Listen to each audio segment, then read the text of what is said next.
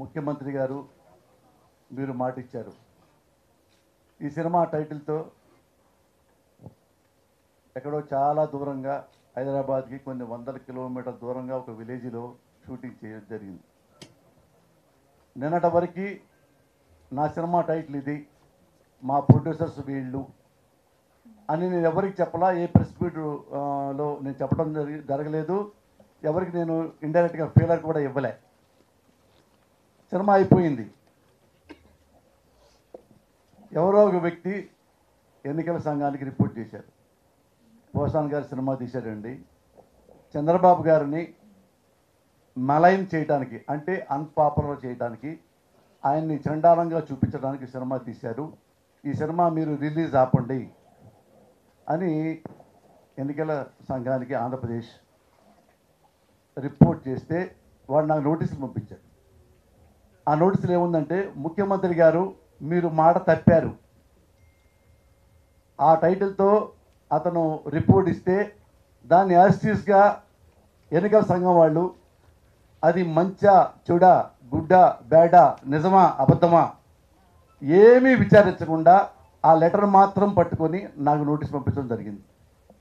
నేను ఫోన్లో మాట్లాడా పేరు రంగనాయకులు గారు జాయింట్ సిఇఓ ఎన్నికల సంఘం. సార్ ఆ టైటిల్ మీద నేను సినిమా తీయలే. నేను ఆ సినిమా ప్రొడ్యూసర్ని కాదు. అతను ఎందుకు మీకు పిటిషన్ పెట్టాడో నాకు తెలియదు ఆ టైటిల్ మీద నేను సినిమా తీయనప్పుడు అందులో ఉన్న కథాంశం కానీ ఎవరు కానీ నాకు ఏ సంబంధం లేదు గురువుగారు స్పష్టంగా వినయంగా చెప్పారు అదే మీరు లెటర్లో ఇచ్చేయండి రిటర్న్గా అన్నారు. ఆ టైటిల్ నాది కానప్పుడు రిటర్న్గా ఇవ్వకూడదు అయినా ఎన్నికల సంఘం మీద గౌరవంతో నేను లెటర్ రాసి వాళ్ళకి మెయిల్ పంపించడం జరిగింది. వాళ్ళు ఇచ్చిన అడ్రస్కి ఎవరైనా సమజ సమంజసంగా ప్రవర్తించే వాళ్ళు ఇక నన్ను అడగరు. ఎందుకంటే టైటిలే నాది కాదు. అంటే వాడేవాడో టైటిల్ కూడా తెలియకుండా వాడే క్వశ్చన్ వేసుకొని వాడే ఆన్సర్ చెప్పుకొని నా మీద రిపోర్ట్ ఇచ్చాడు. జనరల్గా ఎన్నికల సంఘం ఏం చేయాలంటే ఏముంది నీ దగ్గర ప్రూఫ్? చంద్రబాబుని విమర్శిస్తూ శర్మ తీసినట్టుగా మీ దగ్గర ప్రూఫ్ ఉందా అని అడగటం అనేది మినిమం సంస్కారం. మరి తెలుసో తెలియకో నాకు పంపించడం జరిగింది రిటర్న్ ఇచ్చా ఇచ్చిన తర్వాత మళ్ళీ రెండో లాగి మీరు ఒకసారి స్వయంగా రావాలి. దేనికి సార్ నేను స్వయంగా రావాలి? ఏం తప్పు చేశాను? ఏం పాపం చేశాను? ఏం క్రైమ్ చేశాను? అదేనండి మీరు ఏమంటే సార్ ఆ టైటిలే నాది కాదే. ఇప్పుడు మహేష్ బాబుకి మోహన్ బాబుకి తేడా ఉంటుందిగా. బాబులే చివరిలో ఉంటాయి. ముందు పేర్లు వేరే ఉంటాయిగా. మిక్కిలేనికి అక్కిలేనికి తేడా ఉంటుందిగా?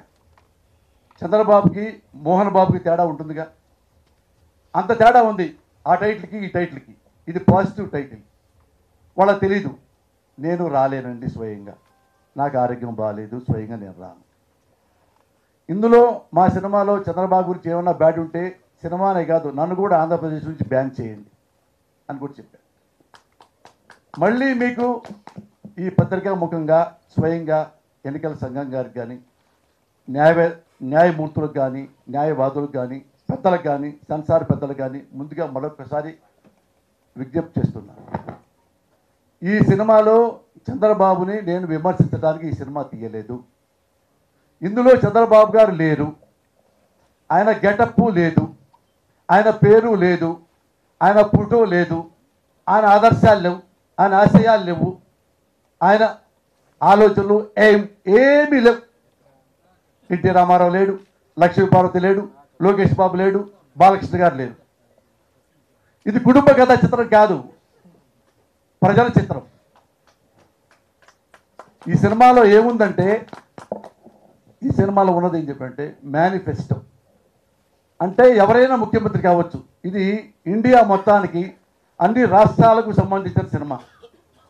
ఏ పార్టీ అయినా ఏ ముఖ్యమంత్రి అయినా ఇదిగో ప్రజలారా మీరు నాకు ఓటేస్తే ఈ వాగ్దానాలు మీకు నేను చేస్తాను.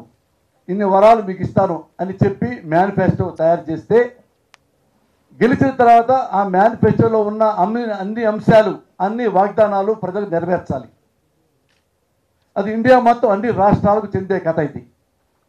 ఎవరైనా నెరవేర్చలేదనుకో అతన్ని రాజకీయ సన్యాసం చేయించాలి. రాజకీయాల్లో ఉండటానికి వీల్లేదు. ఏ ప్రజల కోసమైతే నువ్వు మాట చెప్పి మీకోసం I can bring the star from the sky అని చెప్పి అబద్ధం ఆడి ఓట్లు వేయించుకున్నావు గెలిచిన తర్వాత ఆ కోరికలు నెరవేర్చలేదు నువ్వు ఎందుకుండా రాజకీయాల్లో? అనేది సినిమా పాయింట్. ఈ భారతదేశాన్ని ముఖ్యమంత్రి చంద్రబాబు ఒక్కడే కాదు చాలా రాష్ట్రాలు ఉన్న ఇరవై పైగా.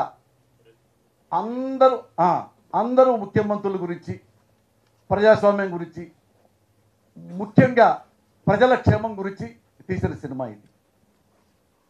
మీరు చూసే ఉంటారు. ప్రజలకి నేను సందేశం ఇచ్చా. ఒక మాట చెప్పా. ఏం చెప్పానంటే మీరు కులాన్ని నమ్ముకొని ఓట్లేయొద్దు.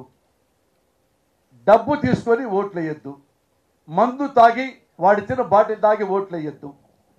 వీడు మనవాడు మా బజార్ వాడు మా ఊరు వాడు అని ఓట్లు వేయొద్దు ఎవడైతే నీతిగా ఉంటాడో ఎవడైతే ప్రజలకు న్యాయం చేస్తాడో సేవ చేస్తాడో అలాంటి వారికే ఓటు వేయండి అనేది సినిమా. దీనికి చంద్రబాబుకు సంబంధం ఏంటి? ఎవరు భయపడతాడు నేను సినిమా తీస్తే ఎవరు భయపడతారంటే ఎవరైతే వెధవ పనులు చేస్తారో ఎవరైతే లంగా పనులు చేస్తారో ఎవరైతే అవినీతి పనులు చేస్తారో వాళ్ళు భయపడతారు. చంద్రబాబు అభివృద్ధి పనులు చేయడు కదా. ప్రజల మొత్తాలు తెలుసు కదా. చంద్రబాబు వెన్నుపోటు పొడవడు కదా. ఆయన మంచి ముఖ్యమంత్రి కదా. ఆయన ఎందుకు భయపడటం? ఆయన భయపడ్డాడని మీరు ఎందుకు లెటర్ రాయటం? నేను పుట్టి సినిమా పరిశ్రమకు వచ్చింది చంద్రబాబును విమర్శించడానికి కాదు నేను బతకడానికి వీలైతే కొద్ది గొప్ప ప్రజలకు మంచి చెప్పడానికి అలాగే ఈ సినిమా తీశా. ఇందులో మరొకసారి చెప్తున్నా చంద్రబాబు గారికి ఈ సినిమాకి నాకు ఎలాంటి సంబంధం లేదు. ప్రజలు బాగోగులు కోరి ఈ సినిమా తీశాను. మరొకసారి ఆంధ్రదేశానికి మొత్తానికి చెప్తున్నా విజ్ఞప్తి చేస్తున్నా. నా జోలికి దయచేసి రాకండి. ఇంకా చెప్పాలంటే ఇది చాలా గొప్ప కామెడీ చిత్రం. అంత కామెడీ ఉంటుంది ఈ సినిమాలో. రక్త కన్నీరు మీరు వినే ఉంటారు. నాగభూషణ గారు వేశారు నాటకం. పేరు రక్త కన్నీరు చాలా సీరియస్గా ఉంటుంది. లోపలికి వెళ్తే అంతా కామెడీ ఉంటుంది. సేమ్ ఈ టైటిల్ అంతే. ముఖ్యమంత్రి గారు మీరు మాట ఇచ్చారు టైటిల్ ఉంటుంది డ్రామా ఉంటుంది. ఒక రెండు రీళ్ళు మాత్రమే పొలిటికల్ అంశం ఉంటాయి. మిగతా పన్నెండు రీళ్ళు ఆలీ గారు బాబుమోహన్ గారు హేమ గారు కృష్ణ భగవాన్ గారు అందరూ ఆల్మోస్ట్ సినిమా కామెడీ చేస్తూ ఉంటారు. ఫ్యామిలీ డ్రామా ఉంటుంది ఎక్కువ. రైతు సమస్యల గురించి నిరుద్యోగుల గురించి మోసం చేసిన ఒక ప్రేమికుడి గురించి అన్ని కలిపి ఇది సినిమా. రాజకీయం చాలా చాలా చాలా తక్కువగా ఉంటుంది. ఒకటి టార్గెట్ చేయటం అనేది వంద పర్సెంట్ లేదు లేదు లేదు. దయచేసి ఈ సినిమాను చూసి ఆదరిస్తారని మీరు చాలా తెలుసుకుంటారని చైతన్యవంతులు అవుతారని చెప్పి మనస్ఫూర్తిగా కోరుకుంటున్నాను. Thank you very much